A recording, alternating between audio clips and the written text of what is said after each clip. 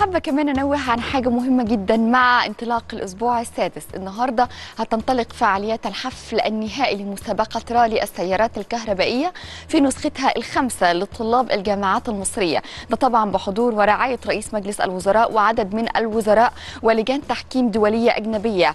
أرينا العالمين منطقة اليو أرينا طبعا العالمين الجديدة وسط 10000 طالب هيكونوا متواجدين. الحدث ده بينظمه مهرجان العالمين الجديدة المتحدة كمؤسس ومنظم للمهرجان. وبينفذ وزارة التعليم العالي وأكاديمية البحث العلمي وجامعة عين شمس وعدد من المنفذين وتحت رعاية رئيس مجلس الوزراء.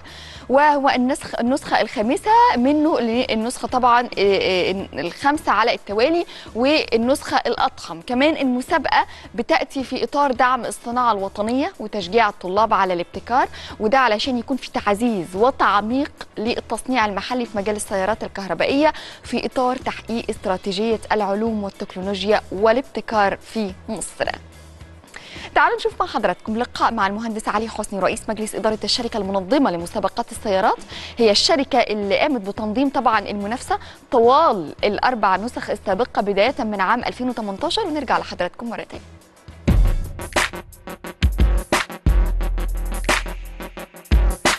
الأجواء طبعا هنا في العالمين تحفة طبعا. السباق ده النسخة الخامسة ليه.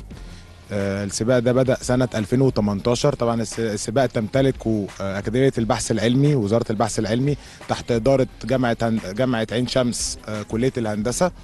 إحنا الحمد لله بننظم معاهم السباق ده من أول سنة. السباق ده بادئ في 2018 كان أول سباق يتعمل في العاصمة الإدارية الجديدة أو أول حدث يتعمل في العاصمة الإدارية الجديدة سنة 2018 بعد افتتاح العاصمة نفسه اتعمل في مصر الافتتاح. المشروع ده مشروع كبير جدا جدا. واللي هنشوفه في يوم السباق هو نتيجة لتعب كبير جدا طول السنة من الطلبة لتصنيع السيارات وإن هي تفرجنا النهارده السباق ونبدأ نحكم ونشوف مين أحسن عربية عاملة أحسن جامعة.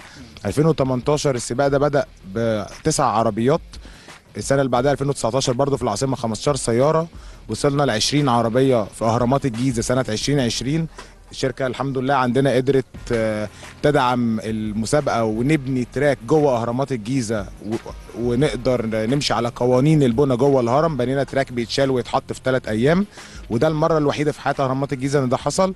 بس ده طبعا تقديرا لحجم المسابقة دي يعتبر أكتر سباق سيارات technical في مصر فيه كمية تفاصيل غير طبيعية.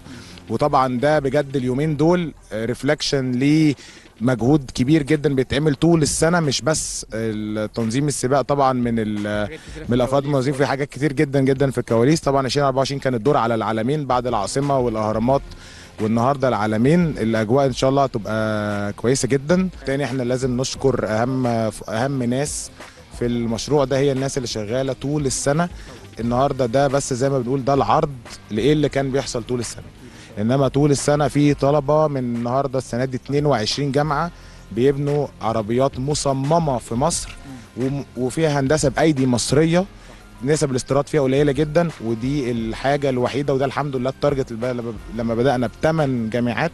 النهارده واصلين ل 22 جامعة من أول جنوب الوادي لغايه هندسه القاهرة وعين شمس بالجامعة الألمانية وكل الطلبة دي موجودة. فده أهم ناس نشكرها على المجهود بتاعهم ان شاء الله ربنا يوفقهم النهارده.